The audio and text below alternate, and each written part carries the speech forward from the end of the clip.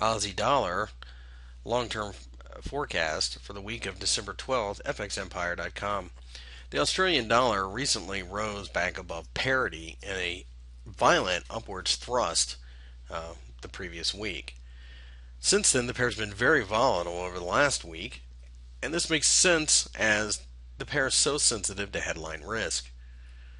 The markets have been acting erratically lately, and this pair shows that emotion fueled trading quite well. Choppiness will continue as the markets continue to digest the issues surrounding not only Europe, but potential slowing down in China as well. The weekly candle is a doji and shows just how directionless the Aussie dollar is at the moment. In order to get long in this pair, we would need to see a weekly close above the 105 level. And shorting would be done under parity. Till then, though, we're just simply watching but prefer shorting as the panty trading seems to rule over all every couple days.